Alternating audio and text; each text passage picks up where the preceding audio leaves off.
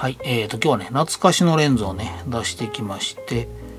えーニコール SO と50の1.4ですね。で、このレンズですね、私が YouTube でカメラ動画を上げ始めた時に、確か一発目ぐらいに上げたレンズやったんですけど、で、このレンズを、えー D40 につけて、まあ、フルマニュアルになりますけど、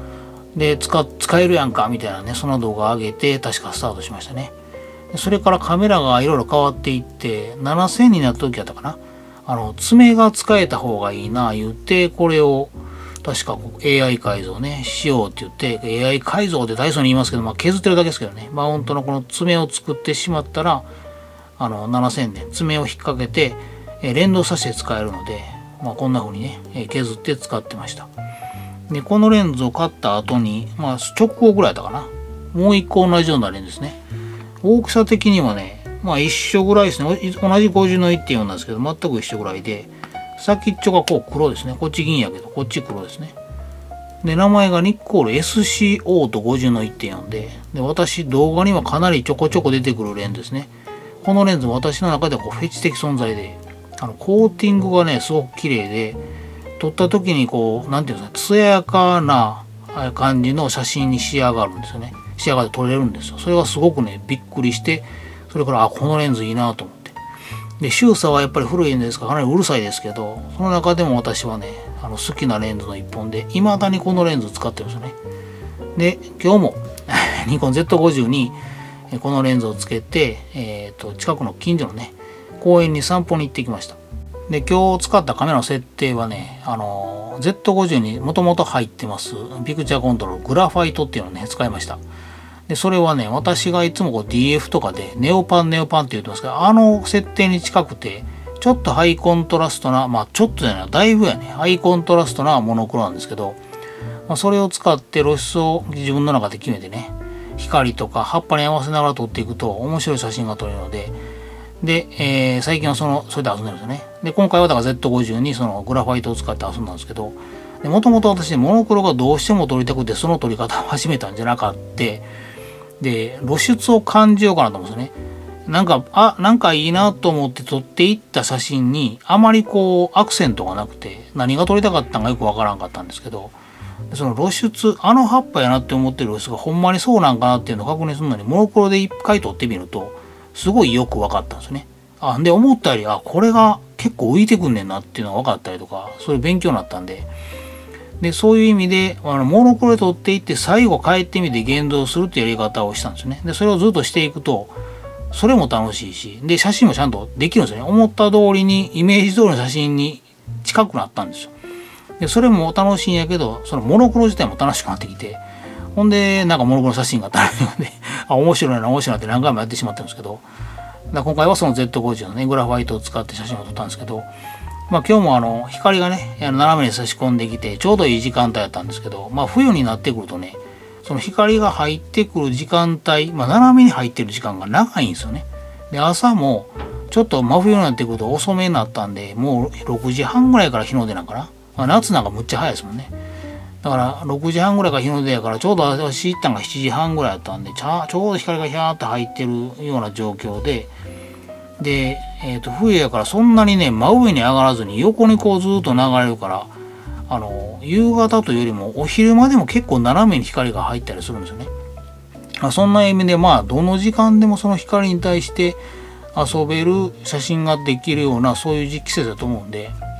まあそういう意味合いも込めてですね、私は今回モノクロでも撮ってきたんですけど、で、今回持っていったこのレンズの最短撮影距離は60センチですよね。そんなに寄れないんですけど、まあもともと 50mm で APS-C ですから、まあ距離にしたら 75mm。だからまあ中望遠程度のね、レンズになりますので、まあ最大撮影倍率いったら結構ね、寄れるような感じになるので、まあそんな感じで、あとは Z50 にこうチルト液晶ですから、ちょっとこうね、下に、下にかばえながらローアングルとかでもね、撮ったりとかして、まあ、結構背面で私ね、やっぱり老眼なんで、なかなか見えないんやけど、ピント拡大してね、お、この辺かなとか言いながら、プルプルしながらね、撮ったりしましたけどね、そんな撮影も楽しめますし、まあその1、2時間ね、ほんま2時間もいなかったと思いますね。1時間半ぐらい、ものすごい集中できた時間で、楽しみましたね。まあ何せでもね、寒かった。むちゃくちゃ寒かったので、途中で凍えてきて、ほんで、あ、そこ、50の250ね、持って行ってたので、一応帰りに野鳥を見つけて、えっ、ー、と、つぐみくんがいましたね。つぐみくん、つぐみちゃんかつぐみさんかわからんけど、つぐみくんがいて。で、去年はね、つぐみが全然いなかったんですよ。で、今年はつぐみがいませんねって去年言ったのを覚えてますね。でも今年はたくさん飛んできてくれてましてね、20話ぐらいの塊で気に留まってまして。で、そのたくさんいるからあんまり怖がってないですよね。私の頭の上を飛んできましたので、まあこのレンズ 250mm でも全然届いて、えー、パッチリ撮れましたので、今お見せしてる写真は多分ノートリミングでお送りしてるのかな。いや、ちょっとしたかな。画角をするためにちょっとだけ縮みましたけど、ほぼほぼノートリでね、撮れましたので、まあ、その距離に来てくれると、このレンズもね、全然いきますね。まあ、そんな風に、ま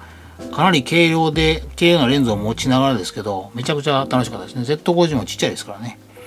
うん、ちっちゃいっていうのはやっぱりこう正義やなっていうのを感じる時ありますね。かといって、でも取り出したらあんまり関係ないですね。持ち運びに便利なやっぱりちっちゃくてこう小外へで持っていくんやけど、ただほんま使い出したら一緒やもんね。D3S でも Z50 でも取るもん、取る機会だけですからね。まあ、一緒なんですけど、まあ、それでもね、あの、今回はね、情報させてもらいましたね。やっぱこのカメラ、私の Z50 はね、ものすごい用できたカメラだと思うから、あの、APS-C のレンズがね、あんまりないですよね。私詳しくないんですけど、